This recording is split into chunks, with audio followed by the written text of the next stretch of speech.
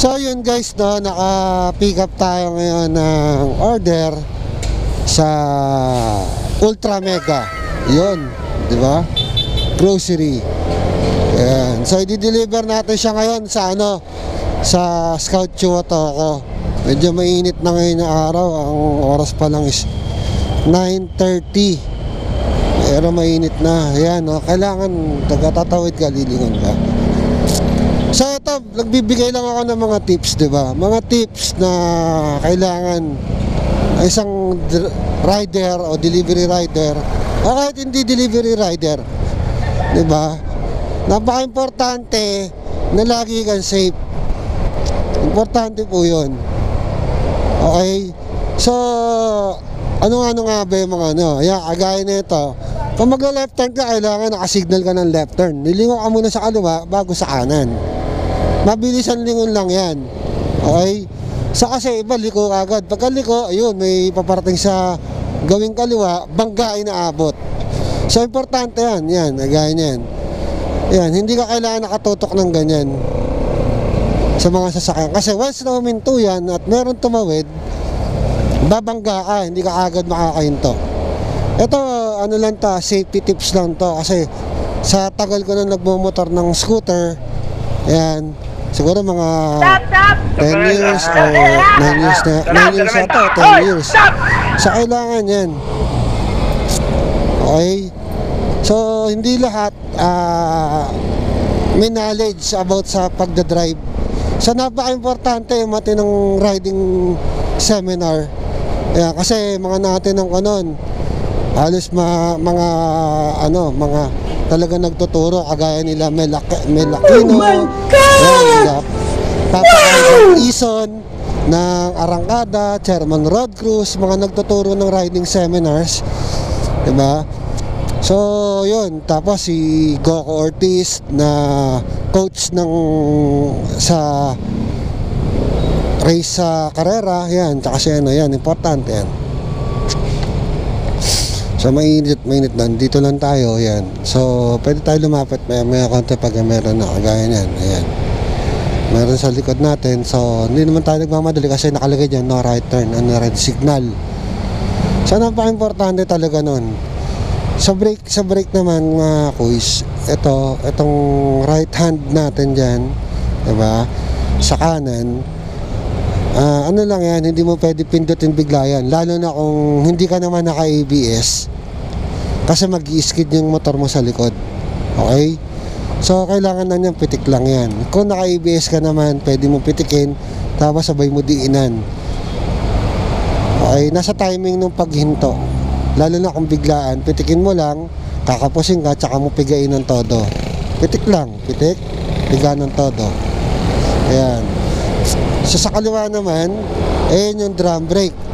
Okay, drum brake uh, or tawag nito, mechanical. Di ba? So napaka-importante niyan, ito, kagaya niyan. Pag ano yan, kailangan niyan syempre, nakaparma yung kamay mo, ayan, kagaya niyan. Oh, slower down. Oh. Tapos pitik ka sa kanan. Hinto. Gets? Yan, namatay. oh, ayan. Yan ang isang maling gawain. Na, na meron nasa harap mo, sisingit ka. Tawag dyan, pamuwate. So, yun, importante talaga yung brake sa, ano, di ba? Ayan, wag niyo gagayahin yung guys, ha. Mali yun kailangan kung gaganon ka, di ba, bubusina ka. So yan, napaka-importante niyan, kailangan ito, nandito yan, yung middle finger mo, yung daliri mo nandito para hindi kumalas. If ever na malubak ka, hindi siya kakalas. Tapos ito nakasupport, yan, tapos ito nakayok sa brake. So depende sa'yo, pwedeng, pwedeng isa, pwedeng nakaganyan, diba? Ako kasi uh, tatlo, sanay ako sa tatlo. So ito yung nakalak sa akin yung dalawa. Ayan. Ayan. At least meron kang natitirang isang daliri na pagitan pag uh, pumipreno ka. Yun ang importante no. Ngayon kung sagot na yan, kailangan mo na mag-adjust. Ayan. So yeah, kagaya niya no. Ayan. Medyo malubak, di ba? So, yun nga guys no. iba-iba yung mga diskarte sa pagdadrive ng motor. so napaka malaking bagay yun na meron kang nalalaman. Yan, kagaya niya, pagtatawid ka, slower down. Silip ka muna bago ka tumawid. Diba? Napaka-importante niyan. Tsaka marami pa tayong ituturong basic, basic tips. Diba? Sa dra- city driving kasi hindi mo kailangan magpatakbo ng 80 or 90 or 100. Pagka ganitong sitwasyon, nandito ka lang sa ganitong street, ang kailangan mo lang takbo, ayan, 40 to 30 to 40 to 50. Pinaka ano na yung ano doon, yung 50. Kasi kung ano ka, nasa ganitong area ka, kagaya nito, ma, di ba, makitid yung kalsada, alam mo maraming tao, maraming tumatawid, maraming sasakyan, na maraming tricycle. So, kailangan mong ano, di ba? So, napaka-importante niyan. Uh, kagaya niyan, overtake ako, busina ka muna. Di ba? Naka- Napaka-importante rin na, may, na malakas yung busina mo, tsaka yung ilaw mo, yung headlight mo. So ituturo ko din yan na i-demo din natin yan. Bakit kailangan mo na malakas sa busina? Kasi yung busina mo, mga tiyang importante yan eh. Di ba? Pag bumusina ka, alam ng sasakyan or tao na meron pa parating. Kailangan yan, basic yan, basic yan. Basic lang naman yung ano natin eh. So ayan, kahanan ka, left turn, right turn, turo mo lang, ayan, so diretso ka, Di ba? So, kailangan yan. Tapos, ah, ano pa ba yung mga pwede kong i-share sa inyo? Hard brake in. Di ba? Ha- ah, hard brake, di ba? Hard in kung tawagin natin, hard brake. So, ayan, kung hatak mo ka niyan, kailangan, kalkulado mo yung motor. Dito pala nakahinto ka na. Wala mo? Ang importante yung lakas ng brake mo sa likod, tsaka sa harap. Combine yan. So marami kasing hindi nakakalam yan pagdating sa hard braking. Marami na didisgrasya kasi ang bilis magpatakbo, hindi niya kaya yung yung yung ang tawag dito, hindi niya kaya yung yung ano ng motor, yung bilis ng motor, hindi niya ma ma ano yung yung dating ng motor. Ang tawag doon, nakalimutan ka tawag dito, anong nga ba yun? Tawag nun, nakalimutan ka. Basta, ano yan, importante yun yung yung ano mo, yung sensitivity mo, dapat sensitive ka rin. Yan. Yan ang napaka-importante. Kasi yan, napaka-sensitive ko pag nagmamaneho ako ng motor. Yan, hindi ako nag, masyado nagpapadikit. Magpapadikit man ako, konti lang. Pero yung dikit na dikit, alam ko na agad yun. Okay? Kasi once may dumikit sa'yo, pwede kayo magkabanggaan, pwede kayo magkasagian. It's either isa tumumba sa inyo o ikaw ang tumumba. So, napaka-importante nun. So, yun yung tinatawag na hard brake in nga natuturo ko, tapos sensitivity, dapat sensitive ka. Napaka-importante rin ng clearance. Yan, di ba sinabi ko kanina, clearance, kailangan, pagka masyadong didikit, ayan, tapos silip ka sa kaliwa pagka nag-slower down siya or hihinto siya kasi once na nakahinto ang sasakyan at meron ganyan tumatawid, gagaya niya may tumatawid na hindi mo napansin, pwede mo mabangga. Okay? Or may tumatawid na sa nakamotor, tao, sasakyan, pwedeng ikaw ang sumalpok. Sa basic learning lang yan, ha? ito ulit, heartbreaking ulit tayo. Eh, takbo, 40. Hinto. So, gets? Eh, yung hinto. So, basic lang yan, mga, mga tol, no? Basic lang yan. Tsaka ang apak sa scooter, ah, ito kasi tinuturo ko to per scooter. Per scooter ko tinuturo. Okay, so left turn tayo dito. Ayan. Signal ka, syempre, lingo ka sa kabila. Ah, pasok ka sa motorcycle lane. Ang napaka-importante niyan. Sa scooter kasi kailangan may mga technique din dyan. Pakagaya nito, ang paa mo dapat nandito nakaapak. Hindi ka nakaapak dun sa putres. Ang umaapak lang sa putres yung mga nangangarera. Bakit? Kasi kailangan na nakataas yung paa.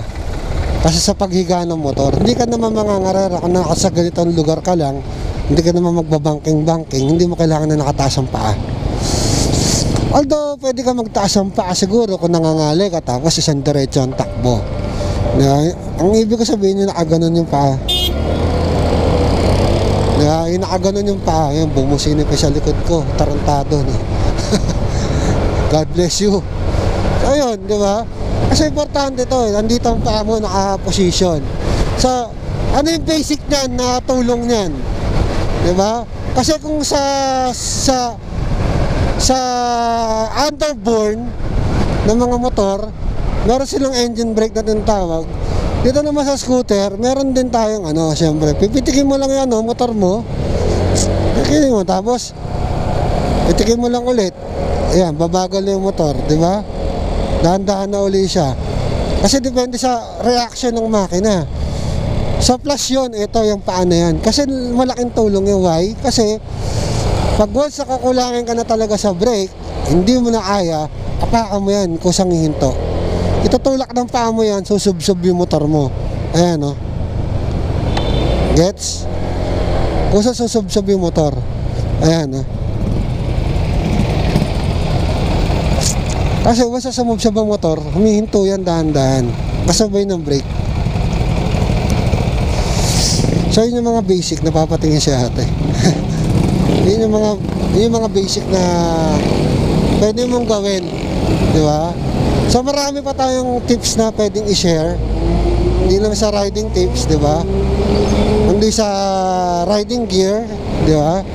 Ang pa-importante nun, di ba? So yeah, kagaya niyan, oh, hinto. Kung mabilis ang dating ko, bangga abutin ko niyan. Tama? So, ayan, kailangan niya, importante yun. Sensitive ka, tsaka lagi ka naka-clearance sa sakyan. Uh, tsaka lagi natin tatandaan, meron pamilya naghihintay sa atin. So, yun lang muna mga kuya, di ba? So, di-deliver muna natin tong ano natin sa Ultra Mega. So, yun, magbibigay pa tayo ng mga another tips para sa riding sa pagmamaneho ng scooter mapa 150cc man yan 110 or 1, uh, 155cc magbibigay tayo ng tips ayan so ayan kailangan yan yan magpipilit so yan, yan naka-clearance ka preno ka para hindi kayo magkaagawan diba it's better to give diba kaysa para kayo maabala diba Ayan, o, ayan, o. Kita niya, nakabanking ka. Ayan, o. Katagilid yung po ni kuya. Ano ba importante yan? Napaka-importante ng mga, ano na, na basic lang. Kumbaga. Yeah. Ayan, o. Importante rin talaga na may, meron kang alam para iwas. Diba, disgrasya. So kung mapapasok ka naman ng mga kagaya ng ganyan, kailangan sisilip ka. Silip ka muna bago ka lumabas. Kasi maraming lumabiglang labas. Di ba? Bangga inaabot. So, kailangan mo yan. Lalo na kung nagpifilter, nagpifiltering ka, traffic. Kailangan dahan-dahan ka. Alright? So, yan. Napaka-importante niya na safety. So, ilang muna masishare ko sa mga kapikaro ko. Dahil kailangan kailangan na siyempre safety sila. 'Di ba? Yan, ang luwag ng kalsada, 'di ba? Grabe, luwag. O, yan. Bago ka pumasok, silip ko sa side mirror, konting lingon. Yun mga diskarte. Diba? Napaka-importante rin na side mirror, guys. Diba? Nakita mo sa gilid mo. Bukod sa lilingon ka, nakita, nakikita mo kung sino yung didikit sa'yo. Diba? Importante yan. Kasi ang kailangan sa side mirror, kita yung kaliwang braso mo, nakalabas. Diba? Kumbaga, yung buong motor, kinakatawan mo yan. Kinakatawan mo. Yan. Yan yung feelings mo. Feeling mo yan, katawan mo yan. Hindi lang ang katawan mo, kundi yung buong motor. Kung ano yung nakalagay sa motor, kinakatawan mo yon Para alam mo kung di may didikit sa'yo or wala. Sensitivity yon Ayan. Oh. Diba? Slower down. Pitik-pitik lang. So, ayan guys, no, uh, yun lang muna yung tips na mabibigay natin. Dadagdagan na lang natin sa susunod at ride safe sa lahat ng ating mga kapikaro. Diba? Pogi. so, ayan guys, no, ah, uh, tawag nito, uh, na-deliver na natin yung order na isa na from Ultra Mega, hinatid natin ng Quezon City. So, balik tayo Manila. Pick up naman tayo ng Robinson. Tandaan nyo guys ha, hindi yan sa laki ng motor o liit ng motor. Nasa nagdadala yan. Kung marunong kang magdala, marunong kang magdala, marunong kang, di ba? Marunong kang maging sensitive, di ba? For your safety, malaking bagay yon. Kasi ang magaling talaga, hindi, hindi kasi nasabing magaling ako. Ang magaling yung hindi nadidisgrasya sa motor. Ito kagaya niyan, di ba? Yung mga paliko na yan, di ba? Mad- basic lang yan. Madali lang din yan. Susunod dito turo natin yan. Yung tamang pag-lean ng katawan, yung tamang posisyon. So yan, di ba? So sana dito sa video na ginawa ko, meron kayo natutunan. Ayan, pumasok pa ako sa hotel. Yun. Shortcut yan, shortcut. So yan, kailangan lilingon ka pa rin, di ba? Pag lalabas ka. Hindi yung pag lumabas ka para kasi Batman. Nagaling ka sa Batcave, lalabas ka bigla. So importante yan, kahit yung paa senyas mo, kung kakanan ka, bukod sa nakasignal ka na pakanan. Okay? Pwede yan, di ba? Pwede mo isenyas yung paa mo o kamay mo, pwede mo isenyas siya pag kakanan ka o kakaliwa ka. Di ba? Para yung kasunod mo, magiging aware kung saan ka papunta. So mga basic lang yan tinuturo ko. Di ba? Hindi naman natin kailangan na masyadong maging ano, pero kailangan natin is safety, di ba? Tsaka na natin tuturo yung mga bagay-bagay na ano na medyo mabigat sa seminar na talaga yon. Di ba? So yun, sana marami kayo natutunan or may naidagdag ako sa inyong kaalaman para eto tinuturo ko lang to hindi lang para sa mga kapikaro ko na maging safety kundi para sa mga lahat ng riders yan. Importante di ba? Gaya na pa bago ka pumasok hilingon ka. Kasi hindi mo alam kung meron parating. So yan dapat ayan ha, sana maging ano importante talaga kasi yung kaligtasan. Mabawasan natin yung mga bagay na nadidisgrasya. So ayan, meron tayong checkpoint dito. So kailangan natin minto para sa checkpoint. Ayan. Ayan. So license sir. Hmm. License sir. Okay sir. RCR sir. Naka-vlog kasi ako sir ngayon eh. Naka-vlog ako. Ra riding tips. Ah. O riding tips para may iwasa kasi mga nadidisgrasya na kasama namin.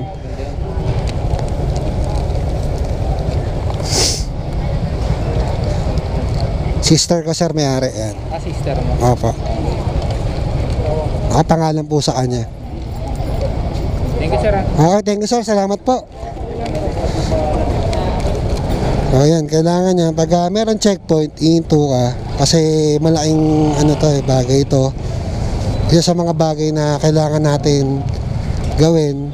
Di ba? Wag, wag kayo magagalit kasi pag ah, may ganitong checkpoint. Kasi dito na dito nare-recover yung mga motor na nawawala, nananakaw, tsaka yung mga pasaway na hindi nakarehistro yung motor. Sir, salamat po. Yan. Uy, si ma'am pala to. Hello, ma'am. So yun, na may iwasan natin yung mga bagay na kailangan na gaya ng mga nakaw na motor, mga gamit na ano, 'di ba? Yung mga hindi nakarehistro, bumibiyahe. Kasi bilang isang ano, teka check ko gamit ko baka nalaglag. Bilang isang motorista, bilang isang motorista, dapat ah, ano ka din, tawag nito um ba- dapat bilang isang motorista, ah, tawag nito responsible responsible ka rin, 'di ba? 'Di ba dapat naka-register ang motor mo, nakari naka-updated ang lisensya mo. Okay? So yun guys no sa mga nakapanood ng video, maraming maraming salamat at sana meron tayong natutunan. Gaya na sinabi ko kanina, safety first tayo para sa lahat ng kapwa natin rider. So ayun guys, maraming salamat. So ingat and ride safe sa lahat.